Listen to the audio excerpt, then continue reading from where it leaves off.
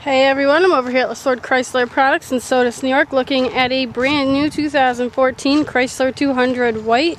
This is touring trim. It's really nice looking because you've got a lot of black accents on it. Those blacked out headlights, black and chrome looking grill. You've got black and chrome rims there. Head over to the back. Here on your key you have a button to pop the trunk. Like that. So we open it up and there's tons and tons of room. Here are your floor mats. Head over to the inside now.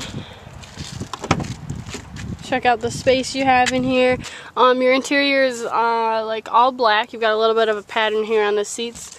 This middle part here pulls down for uh, two cup holders and armrest. And then here this opens up, folds down, and um, you've got direct access to the trunk if you wanted. Um, we've got a pocket behind the driver's seat for storage. Cup holders down here in the door and some more storage spaces. Over here, we'll check out the inside of the front. Absolutely beautiful car.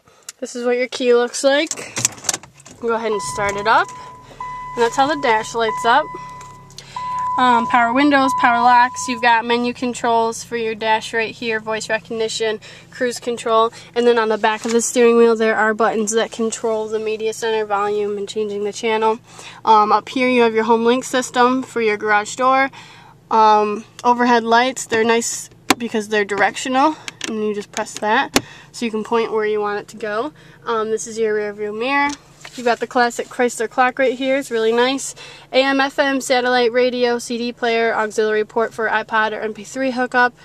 Um, down here, your temperature controls.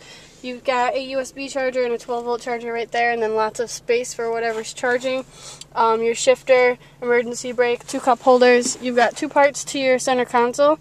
Um, the first part oh, is um, there we go. It's smaller. Um, you can fit small stuff in there. Second part is a lot deeper. All kinds of space in there and another 12 volt charger. Over here is your glove box. You've got lots of room in there, a little pen holder, and then again, lots of storage space down in the doors. So come on down to 49 West Main Street and test drive this white 200 today. We're there at Lessord.com, Facebook, and Twitter to answer any questions you may have about it. Thanks for watching. Feel free to check out some of our other stuff.